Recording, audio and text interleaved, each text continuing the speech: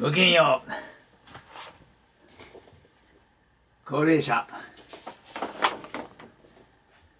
起爆剤講演家の宮崎文隆です、えー、まあ高齢になるといろいろ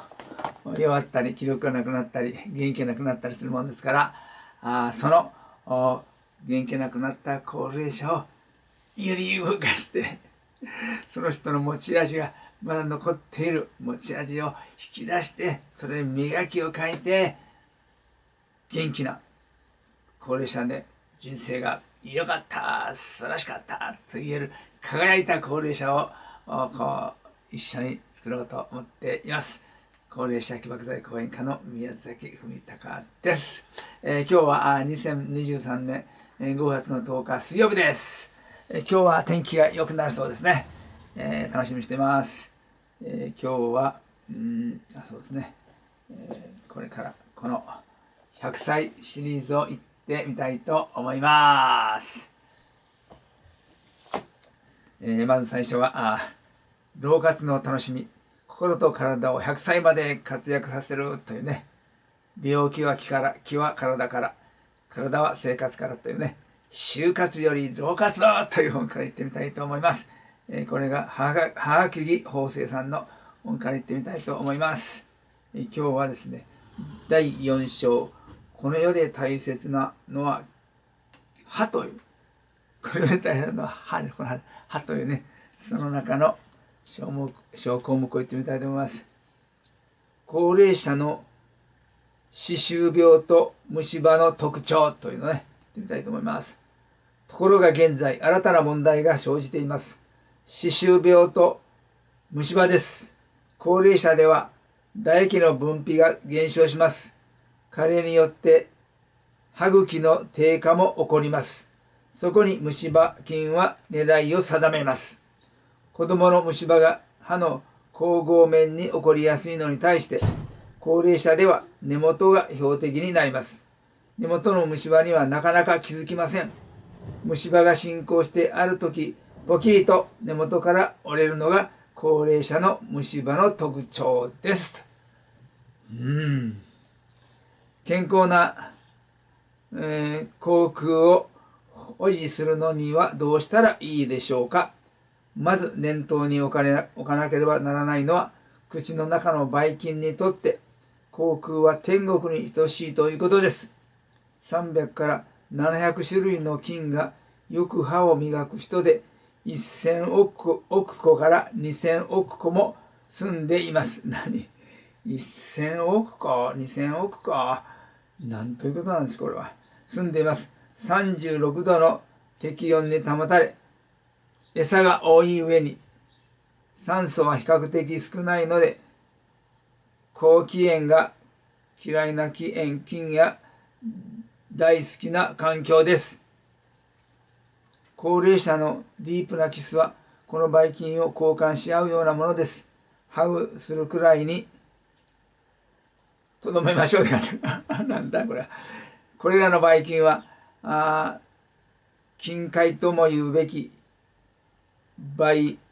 オフィルムを作ります。あ金の塊とも言うべきバイオフィバイオフィルムを作ります。金の堆積物の周囲に薄い膜ができあ今朝の7時の時計が打っております。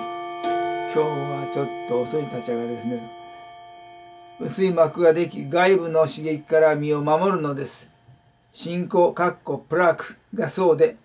うがいで除去できる代物ではありません。歯ブラシでこすり取るほかはありません。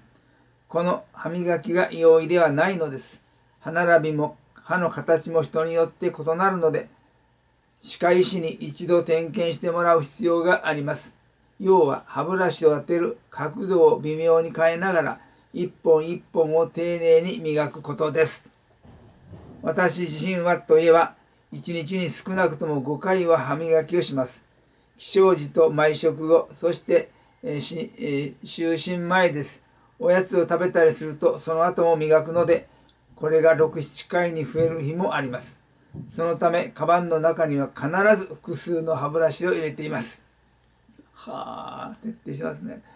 スーツの内がポケスーツの内ポケットにも入れたりするのである時ファンの方からサインを頼まれ内ポケットからボールペンを取り出そうとして歯ブラシを出し赤恥をかいたこともあります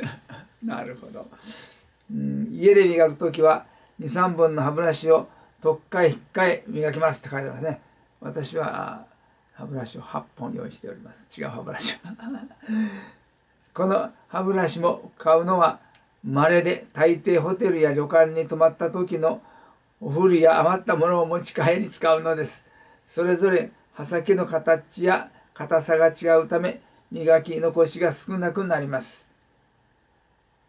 これほど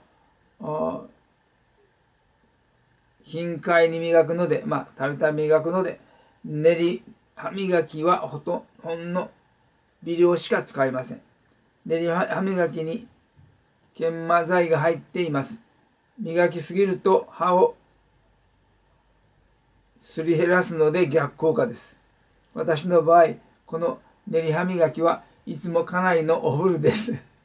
チューブからもう出ないと言って捨てられそうになったのをもらい受け、工夫してほんの少し押し出して使います。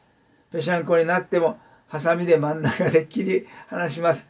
上と下にまた、まだかなりの量が残っていて重宝します。このやり方で妻のお下がりでも2、3ヶ月は大丈夫です。家内は耳っちいからやめてと言いますが、私にとってはもったいない精神で快楽になっています。徹底しておられますね。この習慣のおかげで35年来通っている歯科医に年に2回行くたび褒められます。私の年齢でこれくらい良い歯の状態を保っているのは2人だけだそうです。もう一人の人がどんな人か会ってみたい気もします。なるほど。